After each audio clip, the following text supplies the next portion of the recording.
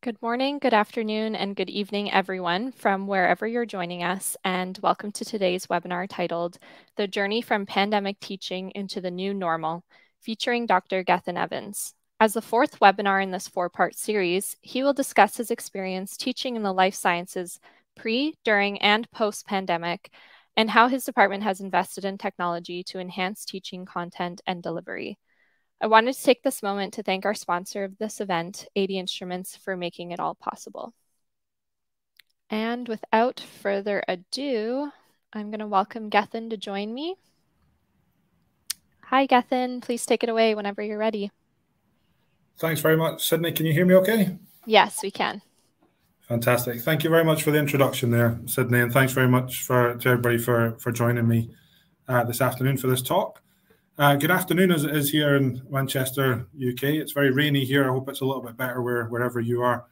Uh, and I'd also like to take the opportunity to thank AD Instruments for the invite to, to come and speak to you uh, today. Uh, the point of this talk is, is for me to talk through uh, our journey uh, here at Manchester Metropolitan University in the Department of Life Sciences in particular, from where we were before the pandemic to how things were during the pandemic, and ultimately where we're moving to over the course of the next few years. And hopefully, you'll see from this that we've gone on quite a journey in a relatively short space of time. Uh, as Sydney said, my name is Gethin Evans. I'm one of the deputy heads of the Department of Life Sciences here at Manchester Metropolitan University. Uh, and one of the things I'd just like to, to make clear but at the start of this is that while I'm doing this presentation, I'm presenting work and and a lot of work actually that's been done by a lot of people other than myself. Uh, I've been heavily involved in some of this, particularly involving purchasing things and implementing things. Uh, but a lot of the, the data that I'll provide later on in the talk uh, has come from from my colleagues uh, who have very kindly uh, provided that data for me and given me their permission to use it. Uh, so just to, to, highlight at the start, this is very much a group effort, which is something that hopefully we have wherever we work. Uh, so just before I get on to talking about that journey, I think uh, whenever we're sharing good practice, and hopefully I will be able to do some of that during the course of this talk, it's always a good idea to give an idea of the structure that we have at a certain place to make sure that people are aware of, of the structure of, of that institution and how we've implemented this, um, uh, these sort of solutions in the environment that we are in. Uh, so I said I am a deputy head of department in the Department of Life Sciences, but that department is one of five departments uh, that sit in the Faculty of Science and Engineering. Uh, the other departments are the Department of Natural Sciences, the Department of Sport and Exercise Sciences, we have engineering, and we have computing, maths, and digital technology as well. Uh, on that slide there, I've got a, a, number of programs that we run, a number of courses that we run in each of these different departments. It's certainly not an exhaustive list, but it might give an idea of the, the breadth of some of the content that we deliver. Uh, so in life sciences, I say where I am based, our main course is in biomedical science at undergraduate level. Uh, we have a human physiology course and we have human biosciences. And at the same time, we have some NHS commissioned programs to do with healthcare science as well. In natural sciences, we have biology, we have microbiology, molecular science. They also run chemistry and a few other courses from natural sciences.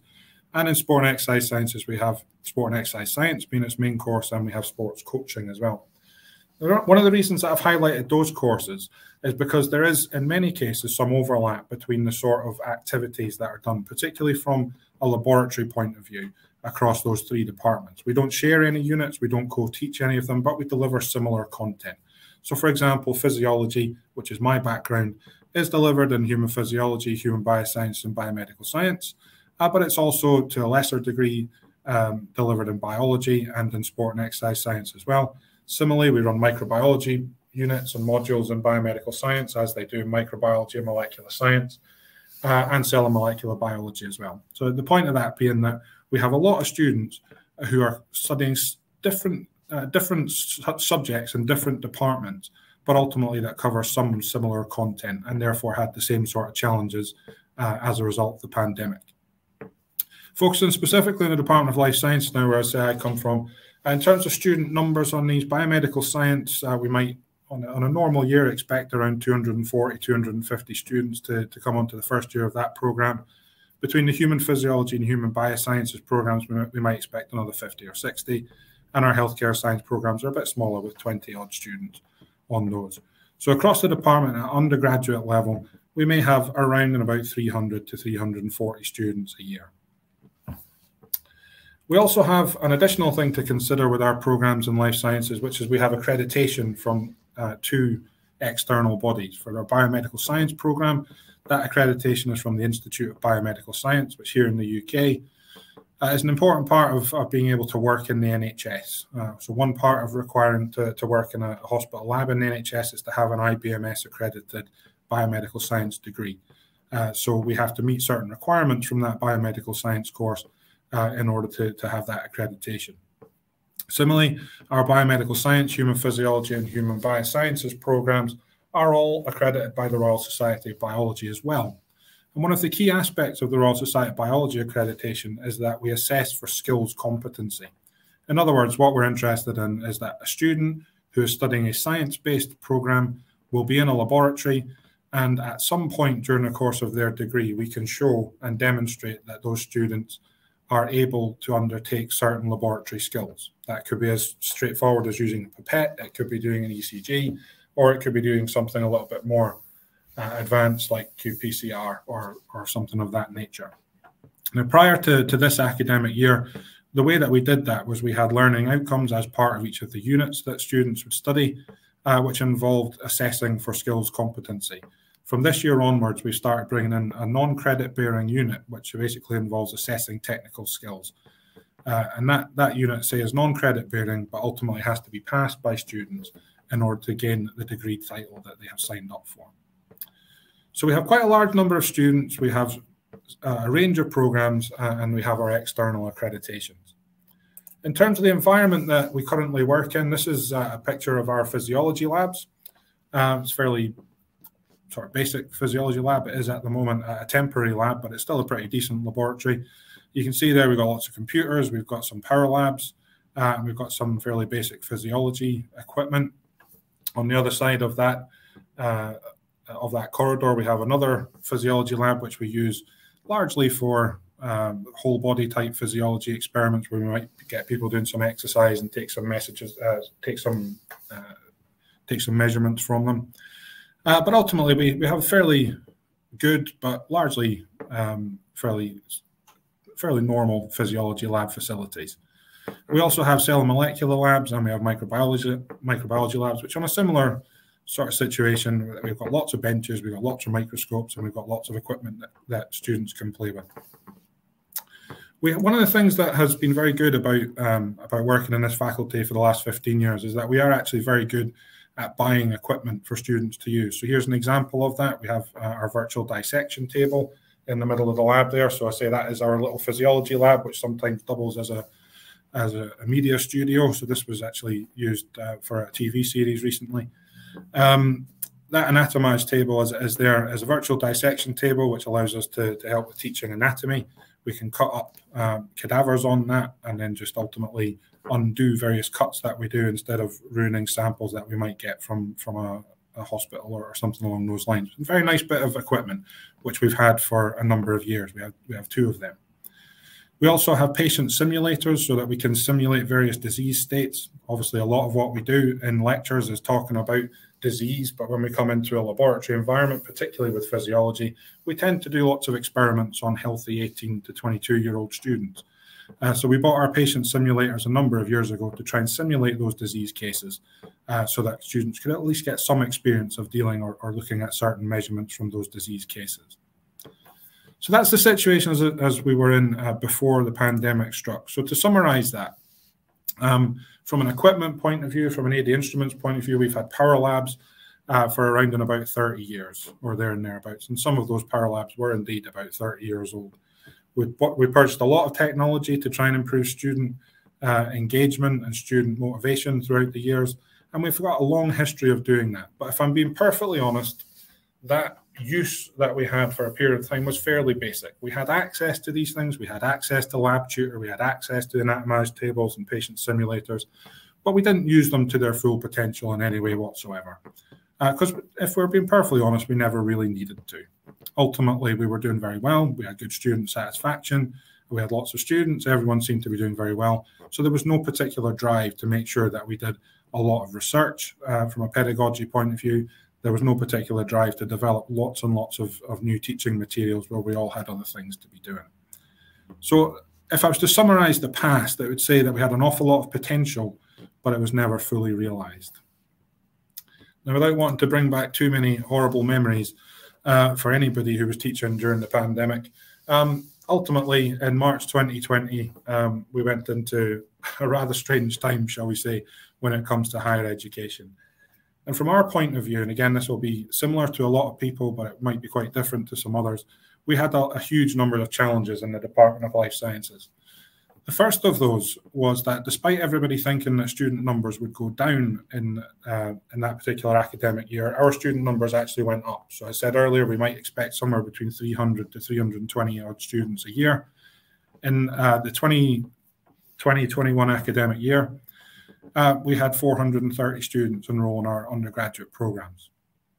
Um, in addition to that increased number of students, uh, because of social distancing and the room capacity sizes and various other issues of that nature, we were teaching students in groups of 13 to 16 with that very, very large intake of students that year.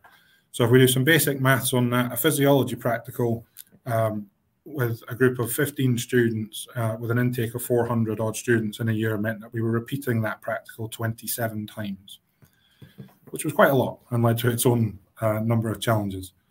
We then, particularly in the northwest of England, had our, our local lockdowns where maybe we, uh, we were told that this, this particular part of the country weren't allowed to, to go out of their house for a period of time.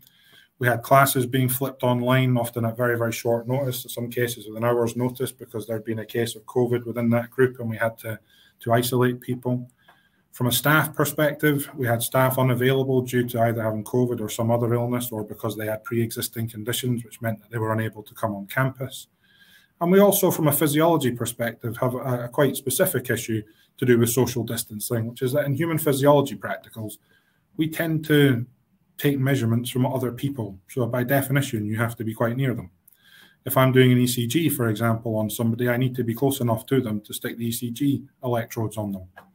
Uh, and obviously, in cases of social distancing, where we weren't allowed outside a certain box, which was put on tape on the on the floor, that wasn't possible. We also had some other bigger challenges, which I'm sure everybody else had as well, which is this growth of, of what is now termed asynchronous activity. Now, obviously, as part of higher education, we've been providing lots of directed learning to students for, for years. Um, however, this idea that because we had lower amounts of time on campus, we needed to increase the amount of this asynchronous activity certainly led to a lot of issues because we had to develop things. We had to, to ultimately make sure that that was available to students at an appropriate time.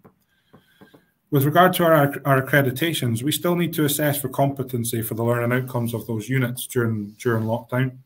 We were very lucky when it comes to the Royal Society of Biology and um, uh, and uh, Institute of Biomedical Science that they obviously understood the, the issues that we had, and they were happy for us to assess that competency in a different way for that academic year. In addition to that, because a lot of stuff was getting done online during this period of time, you've got rapid digital upskilling of staff and students to make sure that we can use resources that we bought into, but also make sure that we provide as good as uh, experience for students as possible. So, like everybody, we had lots of challenges, and some of those will have been specific to us. Some will have been uh, very general, and everybody will have uh, experienced it at some point. So in response to those challenges that we had, we, we obviously had to come up with a solution. And, and ultimately our solution was to invest uh, and invest very heavily in virtual solutions. Uh, and we did that from a laboratory point of view in three different ways. We, we basically bought into three separate packages. The first was uh, linked to, to AD Instruments LT.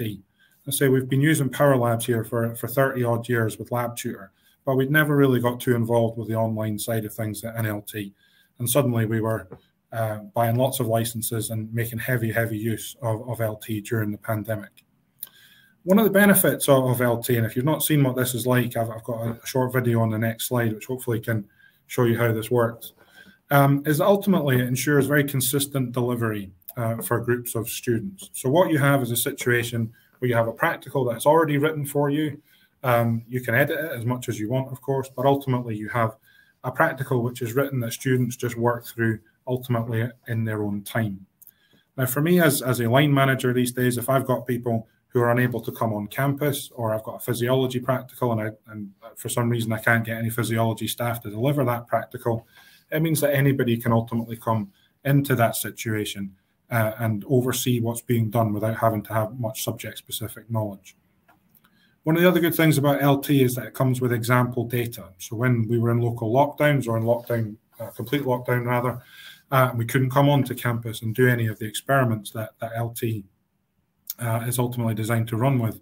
You can use that example data to make sure that students go through the practical, they at least get to analyze that data, they get to understand what that data collection looks like, and they get to draw conclusions from it as you otherwise would. Similarly, um, it's something that they can do on their own. They can either do that at home uh, if that example data is available, or they can do it in a laboratory class, either on their own or, or as part of a group. We also invested in the Understand Your Physiology section of, of LT. So most of LT, if you're not aware, is about those lab classes and it's about doing data collection. However, Understand Your Physiology is more just about access to general physiology um, textbooks, textbook sort of level um, level information effectively. Uh, so you can set various tasks for students as part of the understanding your physiology module, uh, which ultimately we we use for asynchronous activity. So again, instead of starting from scratch and getting staff to, to write their own things, we used what is a high quality resource to make sure that staff were spending their time doing doing other stuff.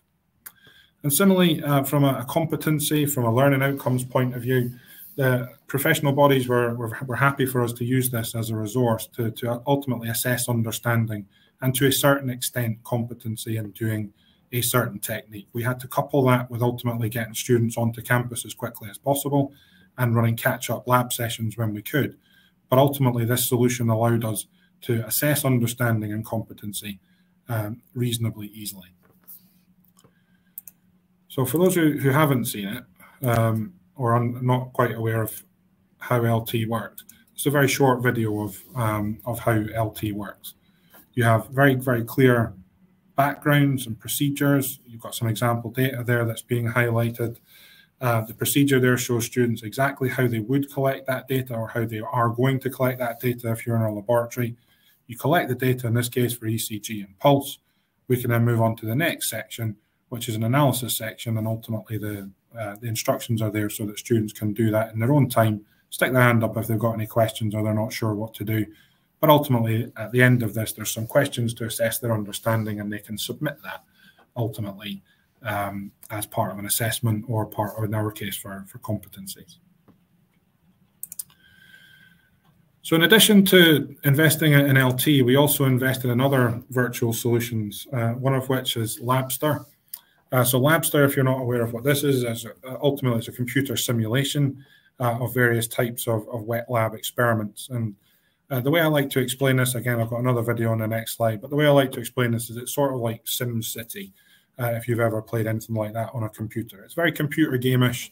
It's not quite as scientific or physiological necessarily as, as LT is, uh, but it's an engaging way for students to wander around the lab. Uh, so the idea behind this is it's a linear experience but ultimately students can press on certain areas uh, of, of the screen and somebody in the lab will move towards that environment. You can pick up test tubes and put them in a flow cytometer or, or some other uh, experiment that, that's being undertaken. You can collect some data from that so that, again, students can complete a few questions and show that they've gone through that process. That, most of those simulations last around 30 or, or 40 minutes. And again, you can do them on your own you can do them as many times as you wish or once if you want to assess somebody using that particular um, experience. So again, if you've not seen it, uh, this is an example uh, of Labster. Uh, it's a video where somebody's analyzing some samples uh, to do with um, DNA, I believe here. So we've got a test tube, which again, you just walk through uh, by pressing on the various sections of, um, of the screen. Stick it through, in this case, a, a fluorescent probe, I believe. And from this, you're going to get some data which uh, can then draw some figures. There'll be some questions to answer, and students are supposed to be able to understand what's undertaken during that simulation.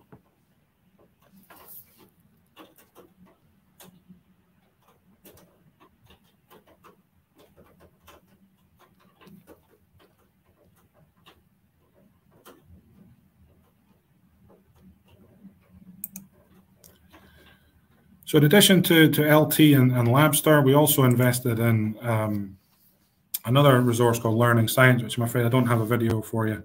But it's a similar sort of idea, focusing very much on wet lab skills. So this was used more by natural sciences than, than life sciences. Uh, and it's far more about individual techniques. Uh, it doesn't look quite as computer gamish as Labster. There's not quite as much in terms of, um, of reports that you generate as an LT, but it's a very interactive resource, which again just highlights the uh, the range of things that we do across the faculty and make sure that almost all subjects will have had something that they can engage in from a virtual point of view. So that got us through that academic year and through that, that rather horrendous um, uh, part of teaching during the pandemic. And then we, we eventually got told, right, we're going to return to what I'm quoting here as normal. Um, and at that point, we were told that we could come back on campus, we should be teaching as normal uh, or as pre-pandemic levels as, as possible. And when we looked at, at, how we wanted to do things moving forward, there were a few things that we needed to, to consider and ultimately decided to do. The first was that while we invested in LT and Labster and in learning science uh, as a very reactionary type thing to a very specific situation, we were going to continue investing in those. And importantly, rather than having one year licenses for those, we've ended up with three year licenses so that we can not just look at what we're going to do now, but how we can build these things into part of our normal curriculum uh, and how ultimately students can develop over time using these resources. That also added the added benefit that in summer 2021, we had no idea what was actually going to happen when it came to COVID. So things like local lockdowns meant that we still had those resources if we need if we needed it. But we moved very much from being reactive to being proactive and thinking, right, if we can actually have students back on campus, if we can have students in a laboratory doing practicals, how are we going to use these virtual resources moving forward? How do we want this to be part of our curriculum? So instead of replacing lab classes, as was the case in 2020-21, now what we were trying to do was use these resources to prepare students before they turn up to a laboratory. So say, for example, we're doing a qPCR practical in, in uh, techniques and applications in biomedical science. The idea is that we might give somebody uh, a Labster to do beforehand so that they understand how this process is done. They understand the, the general idea of what things are done in what order and what data is going to come out of the analyzer at the end of it. So that when they turn up in the laboratory, they've at least had a shot at doing it. It's not starting. Um, it's not starting from scratch effectively in that first few minutes that they turn up in a lab. Similarly, we're still encouraging the use of Understand Your Physiology. It is an excellent resource. Um, so why we would put, why we produce our own stuff when we have uh, we have access to that uh, is an interesting question and, and, one that certainly we use uh, fairly regularly. Um, from a physiology perspective, we certainly expanded our use of LT, but I think importantly, um, we don't use this in all physiology lab classes. One of the the key bits of feedback we got from students is that they like variety. They don't just like always having to walk into a physiology lab, log into LT, work through a, a, worksheet and get some data and then walk out again. They like they like different things. So while we make heavy use of LT for a lot of what we do, we don't use it for absolutely everything. So we've got that that variety and hopefully students appreciate that. Again, moving from from virtual labs as being um, a, a replacement for what we would otherwise do in a lab during a pandemic, now we focus more on virtual labs for revision we use that example data. If students have only got a limited amount of time in a laboratory, then they can do these sort of activities to help remind themselves of what they would have done or have done during that lab class. So that was our return to normal. And, and on, for the rest of this presentation, I want to focus on, on the future, because uh, obviously we've been through an awful lot there over the course of, of a few years, uh, going from fairly basic use of, of technology to being heavily reliant on lots of virtual resources. And this is where I'm going to try and turn the pandemic into a positive, if that's even possible, uh, if that's even possible. Because as a result of, of the, the, things that we've learned throughout that process, that has taken us into our next stage of where we're going as, as a faculty and as a department. And I say that because at this point, uh, we're in the process of building a new building on the side of the one that I am currently in in Manchester. And this is a picture of what it's supposed to look like uh, when we move into it in September of, of this year. And just to highlight um, what that is going to be like, I've got another little video here, uh, which lasts a minute or so, which just highlights what this is going to look like. And ultimately, hopefully you can see how it will be a little bit different from how we've done things in, in the past.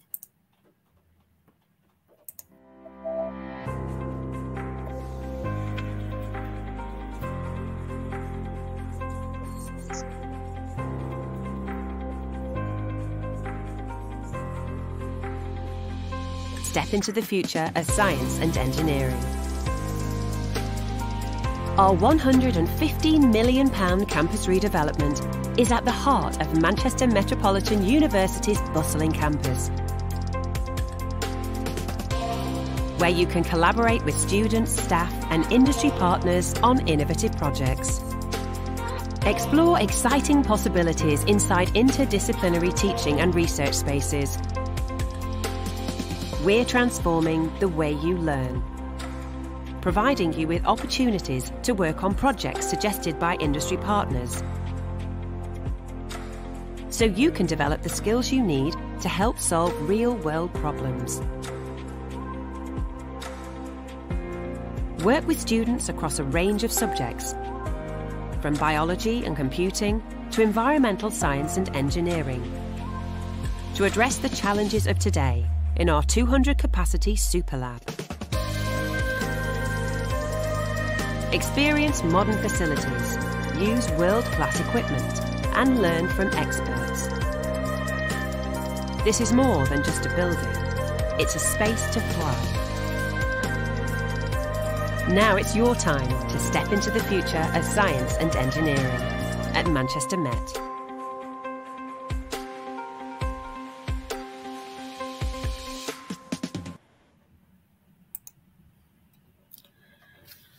Hopefully that, that gives a, a, an idea of what we're, we're looking at. So it's a very exciting time for us here. Uh, we're all all very interested in it. I've been working at MMU for 15 years, uh, and I believe that the first few weeks that I turned up here, we were starting talking about a new building, and it's finally here. Um, I say in, in a few months' time, we're actually going to be be in there and teaching from there. That's a that's very exciting because as as a part of the planning process for this, I've been involved in a lot of meetings when it comes to the planning of that new building, and I can say from experience that students have been thought of from the start of that of that process. The whole building has been put together with how we want to teach students over the course of the next five to ten years in mind. In relation to that, and you'll have seen in some of those pictures, this is a, still picture of how they envisage uh, one of the teaching uh, rooms in, in the new building, the Dalton building as it as it's called. Um, there's not going to be any lecture theatres in there. We will still have access to some lecture theatres in other buildings, but the teaching spaces are going to be active learning spaces, which can either be for 50 students up to 200 students. And the idea is that in these spaces, students are doing things. This idea of didactic teaching and just talking at people for a while um, is really something that we want to put in the past. You'll have also heard in that video that they have a 200 seater super lab. So instead of that, those pictures I showed earlier on of the temporary physiology labs where we might have 40 or 50 students in there at any one go and repeating a practical five, six, seven times in order to get a cohort through. The idea is that we'll do that in one shot uh, in this new building, maybe two deliveries if we've got a particularly large unit. Um, so the way that we are going to be teaching people in the course of the next uh, few months is going to change quite quite drastically. And in many ways, uh, some of the things that we've done that we've learned through the pandemic will help us in that, and I, I very much believe that. So again, in not too distant future, then say we will be teaching very differently here. We are still going to have high student numbers. That's not going to change. We're still going to have our 350, 400 student intakes every undergraduate year. We're still going to be assessing technical skills more so actually than, than we ever have. And there's going to be far more focus on small group activity and active learning than there ever has been in the past. There's still going to be lots of asynchronous activity. There's still going to be lots of directed learning. So we're still going to have to be using things like understand your, your physiology. And I see there's a question in the chat there about that, uh, which hopefully uh, we, we can address later on. Um, technology is going to be a big part of that, both both in terms of what we have purchased already and what I'll, I'll come on and show you again in a, in a few slides time, uh, but also in terms of how those spaces are set up and how students can interact with with uh, lecturers, how students can interact with each other, how they can present things and so on uh, in teaching spaces. And so we have that that super lab, which comes with loads and loads of possibilities. It should help with staff time. It should help with the experience that students get working in a big community. But that doesn't mean that there won't be challenges, and some of those will be to do with time and facilities pressures. Uh, because at the same time as running physiology practicals in there, we'll also be running cell and molecular practicals and microbiology practicals and, and a whole host of other things, uh, which ultimately will will need ironing out over a period of time. So it's a very exciting time. uh, which which again leads to some challenges, but hopefully, I say we're, we're more equipped to, to deal with those now than we ever have been. And one of the things that, that we've done is we've continued our investment in, in technology to help with this. So a few slides back, right at the start of this, I, showed an example of an Anatomage table. Uh, we've bought some more of those. Um, we've upgraded those uh, to try and again make sure that when we're in that super lab environment, if, uh, if we've got 200 students in there, but we've only got one or two Anatomage tables, they're not going to be particularly useful. Uh, simply because of the number of students you can, can put around them at any one time. So we bought some more of them. We've got the latest versions of them, which can stand up uh, so that more students can see what's going on and more students can play with them, etc. But we've also bought portable versions of them as well. So these are Anatomage uh, tablets, um, which are scaled down versions of those virtual dissection table, uh, which are effectively the size of, of an iPad or, or a Samsung tablet. Uh, and what this means is that I don't have to do this sort of activity in the laboratory. You know, those tables, uh, those those full Anatomage tables are fantastic. They really are. They're a fantastic resource, but they don't move around the building particularly easily. Uh, whereas those tablets, I can take to any one of those active learning spaces, and I can do something that I was going to do in a laboratory-based environment in that active learning space. Um, it doesn't have quite the same functionality, but it certainly has enough to make sure uh, that the experience that students can get from playing with those those particular bits of technology uh, helps with their learning. Um, say we, have continued investing in PowerLabs. We just bought uh, 20 more of those, I think it was. We bought brand new uh, cycle equipment for, for human physiology type experiments, really investing heavily in making sure that students have access to the best equipment and enough equipment so that we can um, we can we can work properly out of that super lab environment. Uh, similarly, we've got here some some pharmacology rigs when at a time when a lot of places are reducing the amount of pharmacology that they're doing. Uh, as part of our uh, investment, we've made sure that we, we have access to the best equipment available uh, to make sure that students who need that experience will get that experience um, over the course of their degrees. And again, continuing this idea of being a little bit more portable around the building and potentially not necessarily requiring um, to be in a laboratory to, to run any sort of data acquisition. We've, we've invested in LT sensors as well, which again, if you're not aware of what these are, they're effectively little mobile PowerLabs, uh, which um, communicate with, with LT uh, through USB dongles. You see here, we've got a couple of pictures of, of doing an ECG on a laptop. Um, so the idea behind buying these is that if I can't get access to that super lab, or I think there's a nice activity that I can do as part of this active learning space that I've got booked, then I don't have to try and move a PowerLab with me because that's difficult. I can go and pick up these USB um, uh, USB sensors. I can get my laptops that I can get moved in by technical services. And instead of sitting there and doing a one A4 sheet of paper and just talking about something, I can get people to collect some data. I can play around with that data. I can use that to make a point and hopefully be that little bit more exciting than, than it might have been in the past. That's not just in relation to physiology, though. We've also looked at microbiology as well. So on the right-hand side of this picture, you've got a very fancy mic teaching microscope, which is in our microbiology lab and will be in our super lab. Uh, but we've also invested in a pile of more portable uh, microscopes on the left-hand side, which means, again, if it's allowed through a health and safety point of view, so I've fixed some slides in a lab, for example, then I can take those along to one of those active learning spaces and we can look down microscopes. We can get students doing the interesting stuff of looking at images, looking at data, using that to try and understand concepts that we've delivered during a lecture or, or in some online environment to try and enhance their experience as much as possible. So again, we've, we've tried to, to invest an awful lot of money planning uh, on how we're going to teach in this, this new building. Uh, so this is how I guess we see things moving uh, in the next few months. We'll be continuing using LT without any shadow of a doubt and all those other online resources that allows us that, uh, that freedom of doing things um, in a hopefully exciting and interesting manner. We can do that in mul multiple different environments with those LT sensors. And hopefully that helps with time and staff and pressures as well.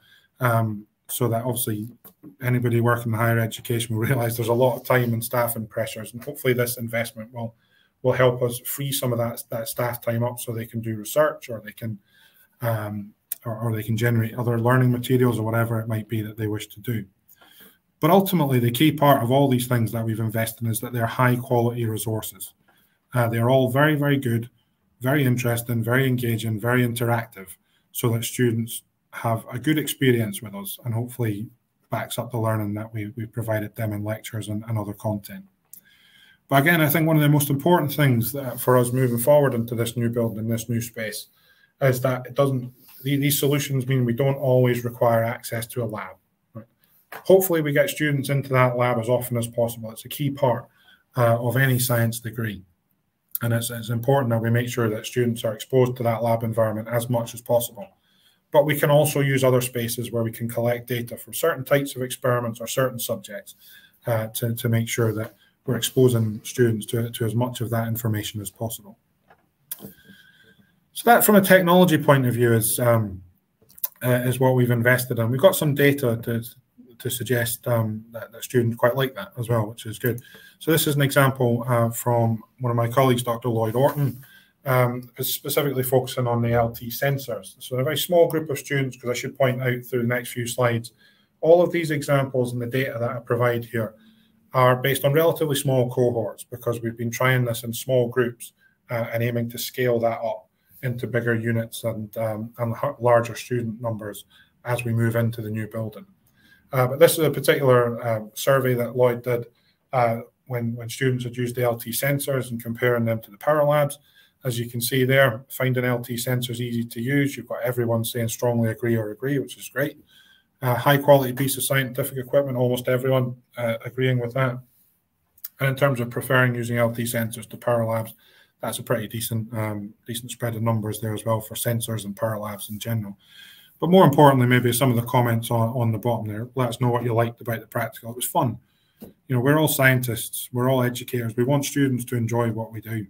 Uh, so when you get feedback saying it was fun, that's obviously uh, something that, that, that, we like to, to hear. Similarly, interactive and fun to do. That's exactly what we're looking for.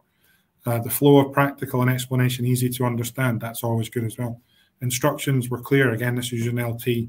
Uh, practical wasn't tedious, which is definitely good to know. Um, it was informative. It was enjoyable.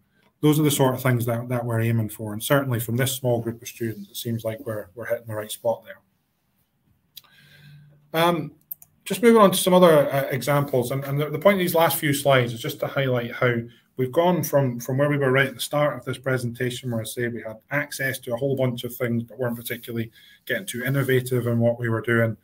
Uh, we've moved completely now into a situation where we've invested in stuff, we've got access to loads of equipment, and we have staff really invested in in making use of that equipment and making uh, the experience even better for students than it was previously. This is an example uh, of, of, an activity that uh, my colleague Liam Bagley, you can see in the bottom left hand corner there, um, helped to put together uh, earlier this academic year. So this was done in, in the end of January, I believe, if, uh, if I'm right. It was a whole department activity, uh, which was ultimately supposed to be about employability and, and developing various uh, transferable skills like problem solving and so on.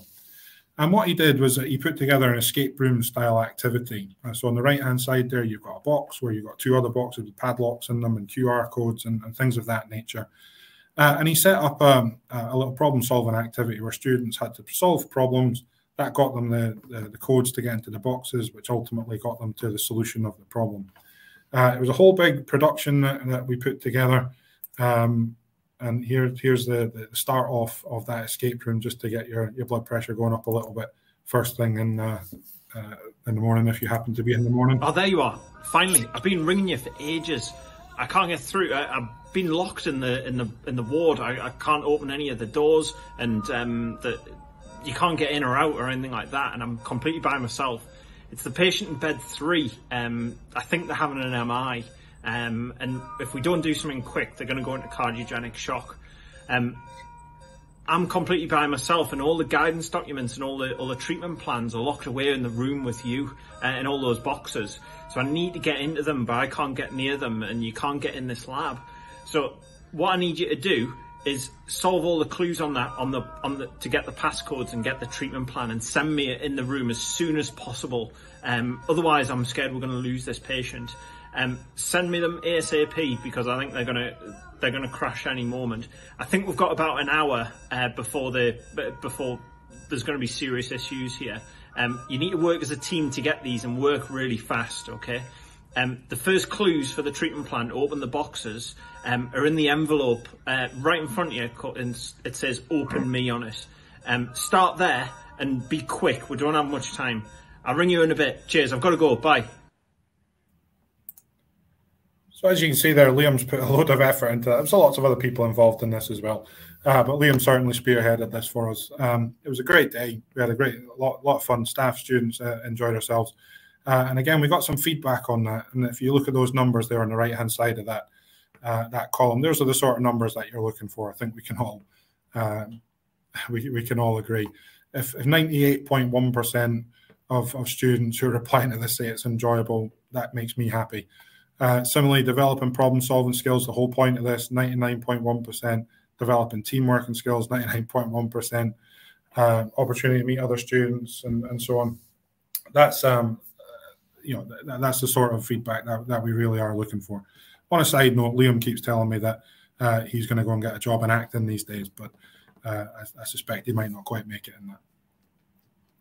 Uh, Liam's another example here, though. Again, um, you know, he's very, very keen uh, on this sort of stuff. Um, over in another building in this institution, we have what's called the Cave, uh, which is a stands for something like computer augmented virtual environment or, or, something of that nature. Ultimately, it's a room where you get projections on all the walls and the floor, uh, and all the and the walls are, are, touch sensitive, so you can get students pressing on on the walls to choose certain answers. And again, Liam, um, because he's he's very very keen on this sort of stuff, um, put together. Uh, in this case, a, a case study for one of his second year units uh, on altitude sickness. Uh, so he simulated this in the cave uh, where he put a whole package together where, where students had to work together to try and solve what was wrong with uh, with somebody in a, uh, when they went up to base camp in, in Everest. Um, as again, a, a, quick example, and I'll do this very, very quickly because I know we're running out of time here. But this is a rough idea of, of how it all works where you've got the sound that's going all around you. In this case, you're, you're simulating being on Everest, so it's very windy, it's very snowy, etc people have added their voices to this. I did it myself, but he hasn't included it in the video for some reason. Um, you can see here uh, as you go through um, various scenarios that you might want to undertake. Um, various options are going to come up on the wall.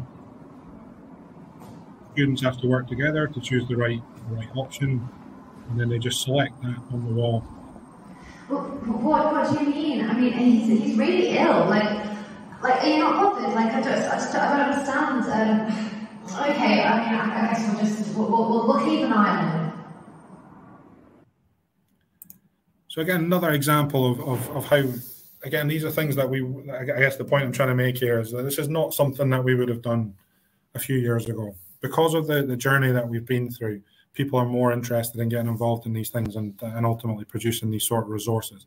Again, we did some feedback on this. Um, Liam's uh, put this together. He submitted it to, to a conference here. Uh, and again, small numbers of students. Again, remember we're, we're trying. We're going to scale this up over the course of the next few years.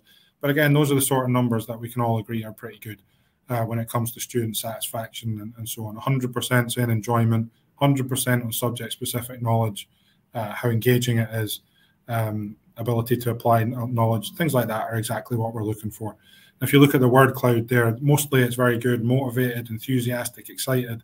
But I guess it is probably worth noting that in those environments that you do actually pressurize students a little bit and you can make them a little bit nervous, which you could argue is a good thing uh, because that is ultimately what they will have to, to come up against when they, they leave university and move into a job.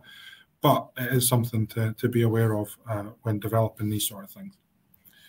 And as a, a final example here, again, we have uh, colleagues over in the, School of Digital Arts who are keen on virtual reality.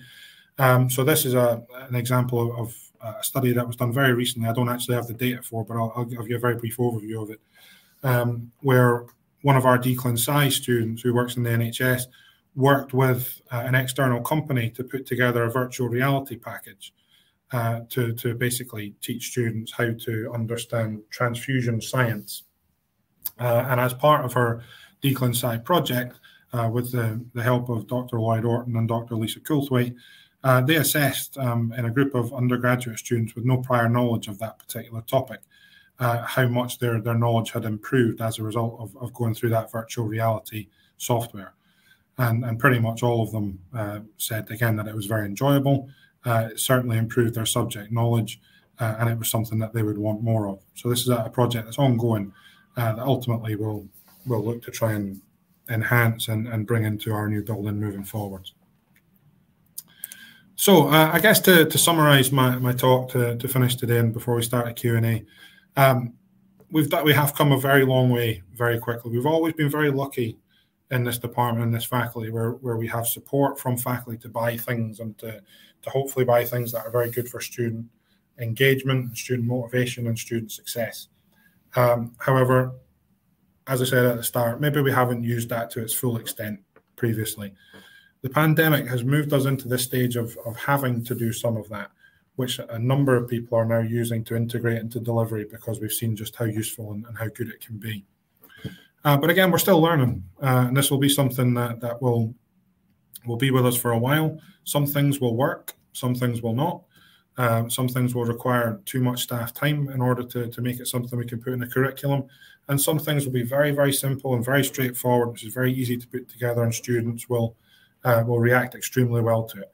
One of my colleagues, for example, recently put together a card game uh, for a revision session, which went down extremely well with uh, with students. Didn't have to involve technology; it was just something a bit different. Um, that's all very, very good for us, simply because um, with this new building coming in this year, this active learning idea that's going to be an important part of our strategy moving forwards uh, maintaining, and enhancing that student offer as we move into the next few years here at Manchester Met. It's going to to involve this sort of technology, um, and ultimately we feel far red, far more ready to deal with that now than we did a few years back. Thank you very much again for for joining us this afternoon. More than happy to take any questions, and thanks again for the invite to come and talk today. Thank you so much, Gethin. That was a fantastic presentation. Um, so many interesting videos you've included as well here. Again, we had some great discussions going on in the chat panel. If you, I don't know if you had a moment to take a peek. um, but yeah, we we're all very impressed with the technology that you've implemented and the university has implemented. All right, our first question um, from Wendy, I don't know if you can answer this one, but you might have some um, information. Is the Understand Your Physiology a resource that comes with LT or is that something different? Yeah, I mean, it, uh, somebody from ADI might want to um, explain exactly how it works, but it's certainly in the LT platform. Um, so whenever you purchase LT, you, you purchase a, a package. Um, that, that we have, say, for example, the human physiology package, and we have the sensor package because we bought those LT sensors.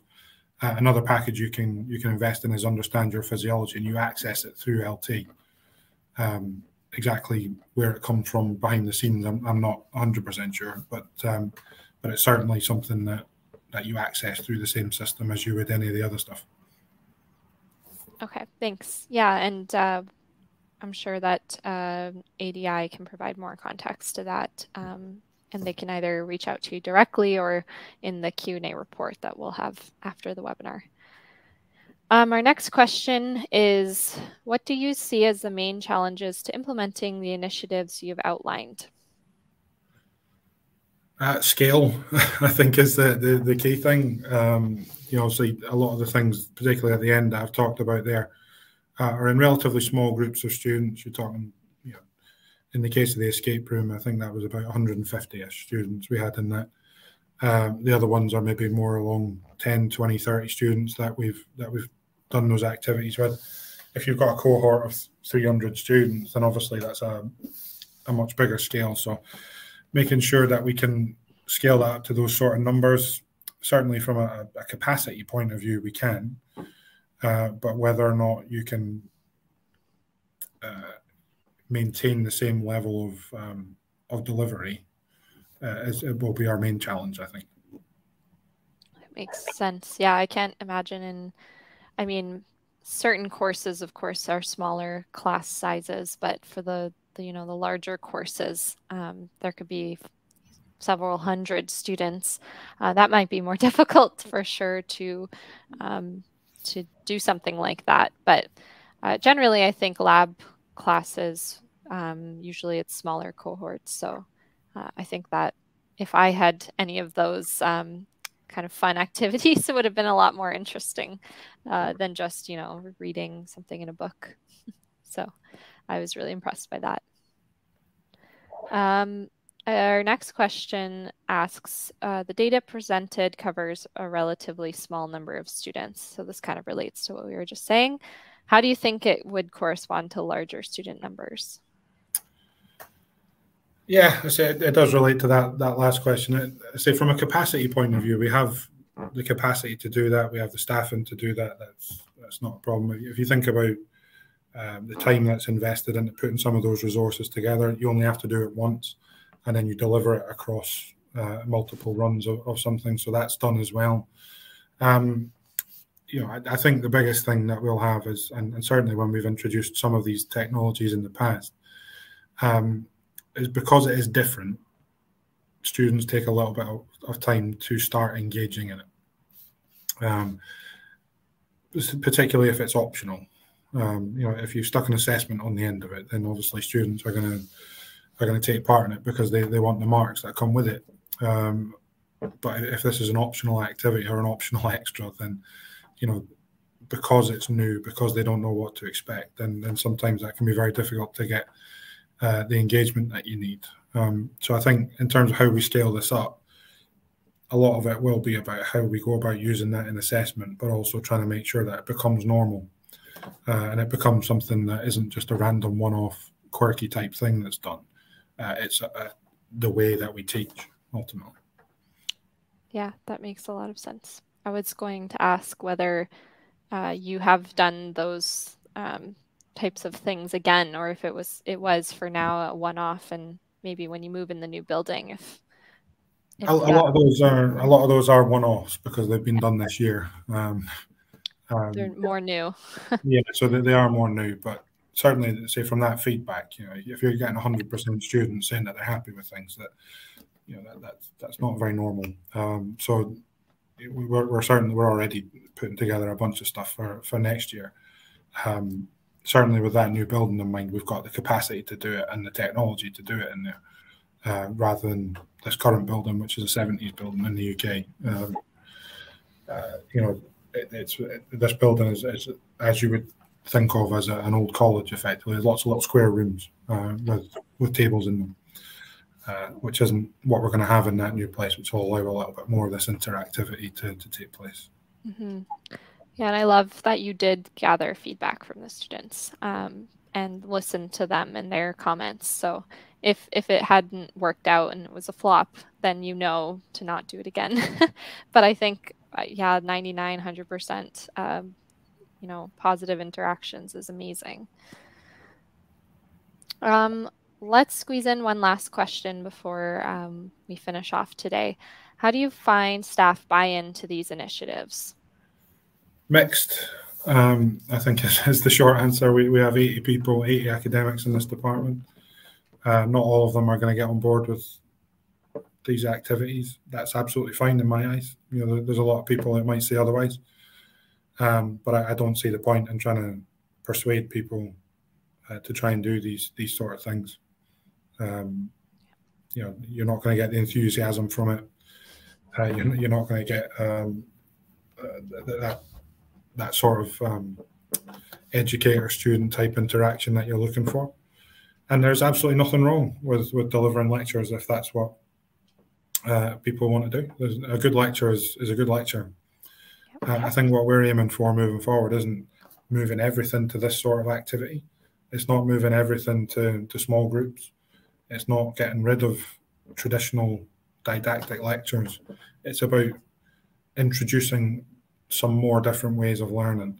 So instead of turning up and, and expecting 12 hours of contact a week with, with eight of those being sitting in a lecture theatre with someone talking at you, maybe there's less of that and more of the other stuff so that the lectures are actually really interesting, really engaging. Staff aren't delivering those lectures over and over and over again so that they're enthusiastic when they're doing it. Um, so that we get this more blended approach to to how we teach students. Uh, and, and hopefully everyone enjoys that. Which is what we're looking for. Absolutely. I love that. Yeah. and uh, I have to agree with Wendy's comment that students are lucky you're making this stuff happen. Um, so I think that's amazing, and keep keep working at it. Um, so yeah, I think that will be the last question. We've reached the top of the hour. So I just want to say thank you so much for being here and for your uh, time and expertise. It was really a pleasure to have you with us, and I hope you had fun. And I hope that the audience enjoyed it as well. Me too. Thank you very much for having me. In closing, we hope you enjoyed this Inside Scientific webinar sponsored by AD Instruments. Um, all webinars in this four-part series are available to watch on demand, and we look forward to seeing you again next time.